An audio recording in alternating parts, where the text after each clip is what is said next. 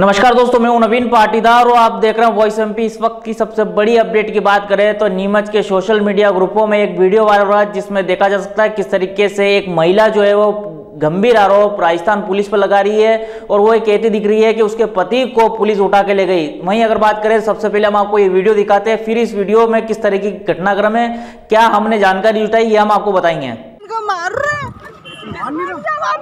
इसका मोबाइल लेना। प्लीज़ मेरी हेल्प करो और रुकना इसको।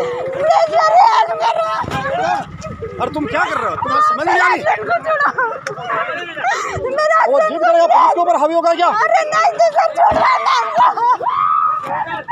पुलिस के ऊपर हावी होगा क्या? हस्बैंड को छोड़ दो। ये बंद करोगे छोड़ देंगे प्लीज़ सर हट जाओ। प्लीज़ सर यार छोड़ दो। भैया प्लीज़ छोड़वा दो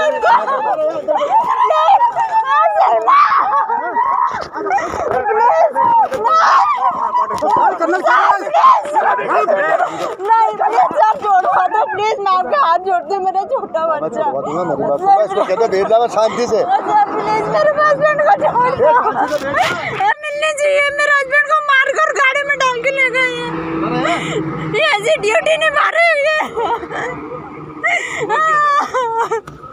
तो आपने देखा किस तरीके से पूरा मामला जो है, जिसमें दिख रहा है कि एक महिला जो है, वो गंभीर आरोप लगा रही है राजस्थान पुलिस पर और ये कह रही है कि उसके पति को जो है ज़बरदस्ती पुलिस उठा के ले गई और उसको वहाँ अकेला छोड़ दिया। उसके साथ एक मासूम बच्चा भी आप तस्वीरों में देखा होगा। लेकिन वहीं अगर बात करें तो इस वायरल वीडियो को लेकर जब हमने तफ्तीश की, हमने जानकारी निकाली तो ये वीडियो नीमच से जुड़ा बताया, जो परिवार राजस्थान जा रहा था इलाज कराने उस तरह की बात निकल के आई। अगर बात करें, जो जानकारी निकल के सामने आ रही है बताया जा रहा है कि जो गाड़ी चालक था, सलमान खान और उसकी पत्नी रेशमा भी उसके साथ थी और एक छोटा बच्चा जिस तस्वीर आपको दिख रही, वो भी उसके साथ मौजूद था। लेकिन वहीं अगर बात करें तो इस मामले को लेकर जब हमने पीड़ित से बात करी तो उसका एक गंभीर आरोप था कि जब वे यहाँ से जा रहे थे, मंगलवार पुलिस ने यातायात चेकिंग के दौरान जो उनकी गाड़ी पे एक डंडा मारा और उसमें जो उनका यह कहना था कि उनकी गाड़ी के डंडा अगर तोड़ा और ऊपर अगर लग जाता तो कांच फूट के जो उनके बच्चे को नुकसान हो सकता था और लग सकती थी।